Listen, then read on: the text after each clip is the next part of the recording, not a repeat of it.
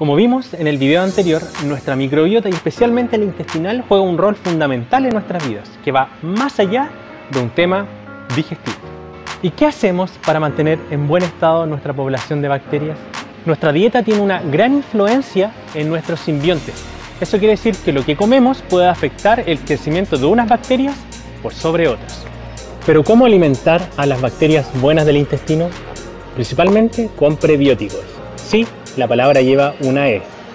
Los prebióticos son alimentos ricos en fibra que provienen de frutas, verduras o legumbres y que sirven también para alimentar a las bacterias beneficiosas para nuestro organismo.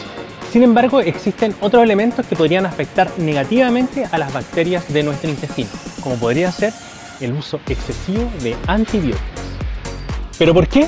Porque los antibióticos no solamente matan a las bacterias que nos provocan alguna enfermedad, sino que también arrasan con las bacterias buenas de nuestro organismo. Por eso tu médico podría recomendarte que te suplementes con probióticos. Ahora, ¿qué son? Los probióticos son ingredientes vivos que ayudan a repoblar nuestra microbiota intestinal, principalmente lactobacilos y bifidobacterias. Estas bacterias están presentes en los alimentos fermentados como por ejemplo el chucrut, pero también son parte de los suplementos alimenticios en formato cápsula o botella.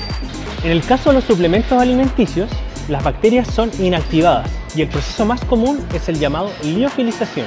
Seguramente habrás visto escrita esa palabra en, por ejemplo, algunos tipos de café.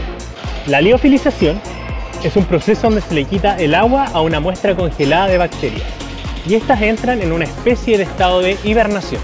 Luego se encapsulan para que puedan resistir de mejor forma el viaje a través de nuestro sistema digestivo. Y al llegar a nuestro intestino se encuentran con las condiciones adecuadas, como por ejemplo de nutrientes y agua para poder despertar y seguir haciendo su vida normal.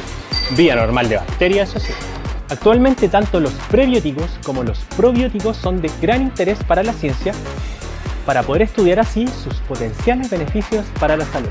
Por eso, una alimentación rica en fibras y vegetales no solamente es buena para el organismo, sino que también para vivir bien en comunidad o microcomunidad, ¿cierto?